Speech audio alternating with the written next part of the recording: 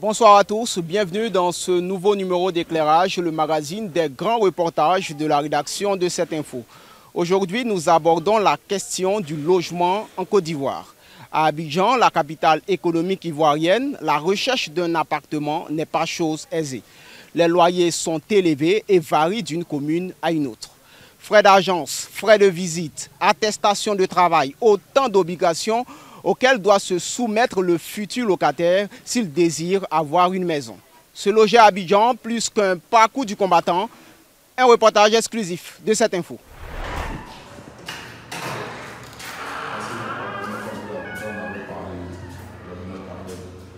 En recherche d'un logement à Abidjan, c'est jour de visite pour Junior Karamoko, un jeune homme de 27 ans. Sanitaire, salon, chambre équipée d'un placard, tout répond aux attentes de Junior. Le tout pour un loyer mensuel de 200 000 francs CFA. Une somme tout à fait justifiée selon le promoteur. Le prix des maisons varie en fonction des communes. Si tu vas habiter dans une, commune comme Cocody, tu verras que le prix est très souvent élevé dans ces régions de communes-là. Mais si tu veux une maison pour un faible budget, il y a Yopougon et il y a Bobo. Donc euh, certains voudront habiter à Cocody avec un budget de Yopougon, ce qui n'est pas faisable en fait.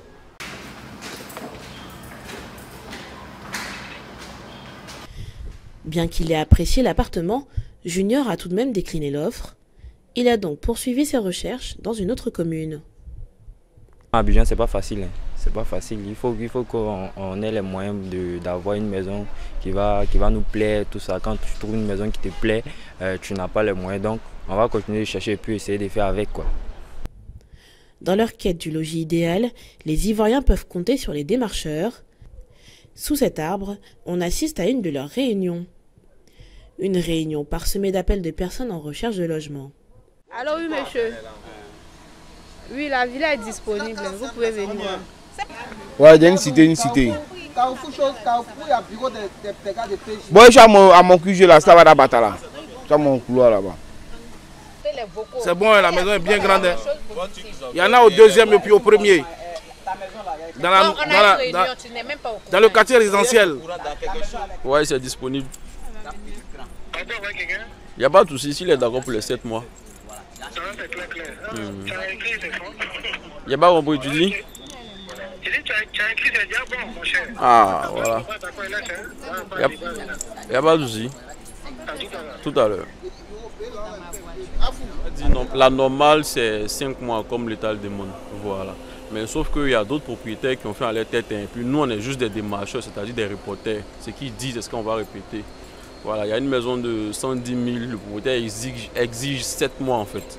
Maintenant, moins que ça, c'est pas la peine.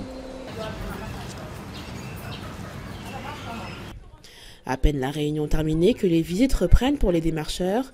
Parmi eux, une femme, Mariam Bamba, accompagnée de collègues. Elle vante auprès de sa cliente les mérites de cet appartement.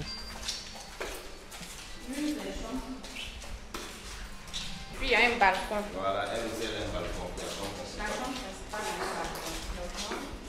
Grand espace, cuisine et salon lumineux pour ce trois pièces.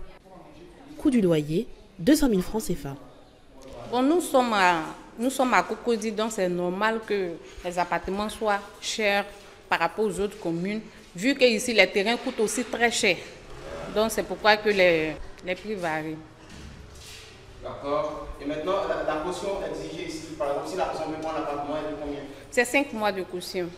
Deux, deux mois avance, deux mois caution et puis un mois frais d'agence. Alors, pour la visite, combien la demoiselle va, va débourser?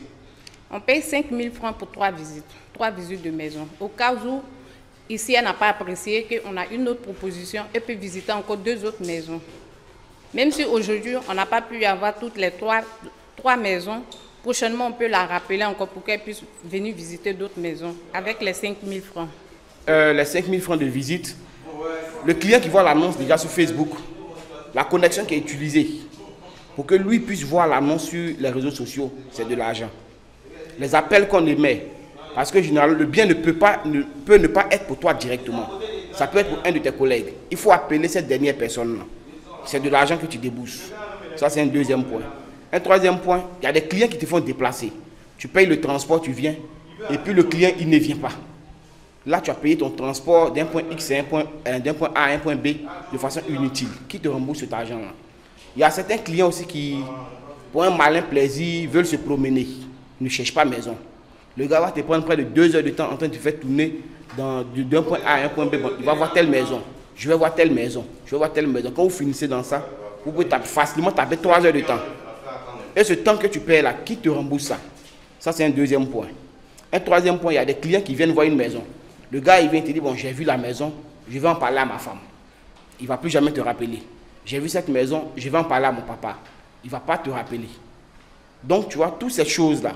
Et c'est pour quelque part pour compenser ce temps perdu-là qu'on émet les 5 000 francs comme droit de visite. Les frais d'agence, nous le prenons pour les prestations que nous faisons. Voilà. Quand vous déplacez un agent, il vient vers vous, il vous montre plusieurs maisons. Et quand vous êtes satisfait, quand vous prenez la maison, nous, on a un mois automatiquement du, loyer. Donc, deux mois de caution, deux mois d'avance, comme euh, l'État le dit. Voilà, maintenant, il y a les un mois de frais d'agence pour la satisfaction des démarches que nous avons faites, bien sûr. Après visite, les démarcheurs prennent à nouveau des photos en vue de les poster sur les différentes plateformes afin de maintenir la clientèle en haleine. Malheureusement, pour les démarcheurs, le métier, c'est pas facile. En tout cas, c'est difficile, mais néanmoins, on fait avec. C'est pas de nandac en tout cas. Voilà, c'est un travail fiable. Voilà.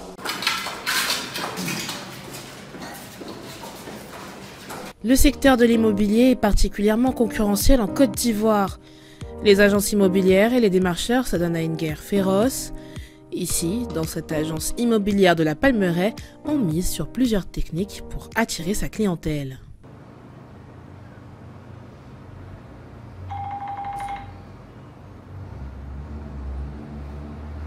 Comment puis-je vous aider, s'il vous plaît?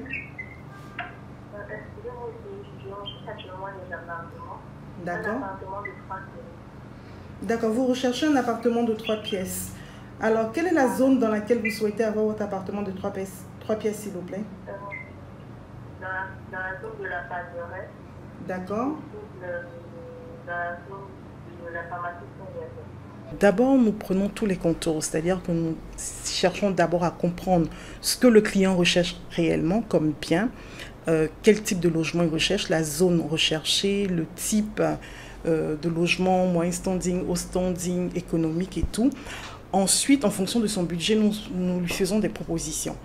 Et bien évidemment, en tant qu'agence immobilière agréée, nous disposons d'un réseau. Nous avons un réseau, euh, un réseau d'agences immobilières agréées. Si nous, personnellement, nous n'en avons pas dans notre portefeuille, nous contactons nos confrères qui sont en mesure de pouvoir nous orienter par rapport à la demande de notre client.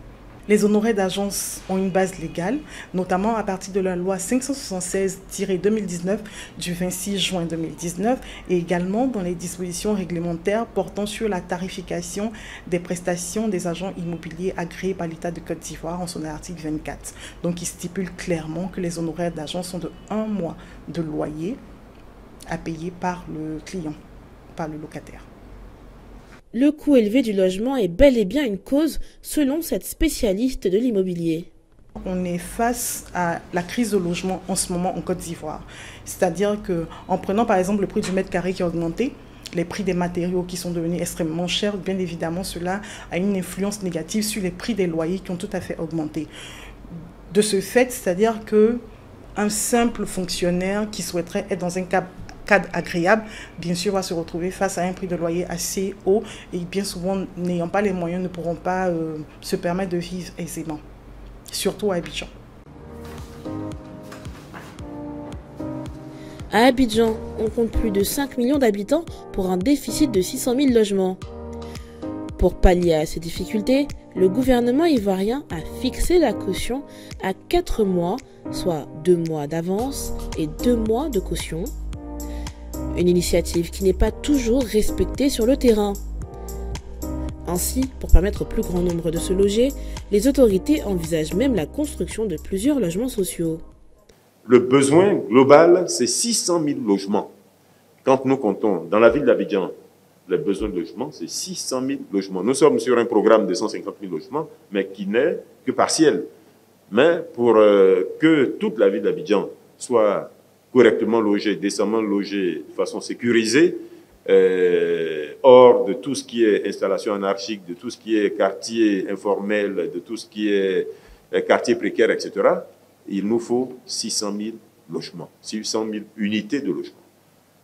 Un projet qui viendra certainement contribuer à l'amélioration des conditions de vie des Ivoiriens qui pour la plupart n'ont pas les moyens de s'offrir une maison répondant à leurs besoins quotidiens. Fin de ce reportage, merci à tous de l'avoir suivi. L'information continue sur cette info et sur cette info.ci.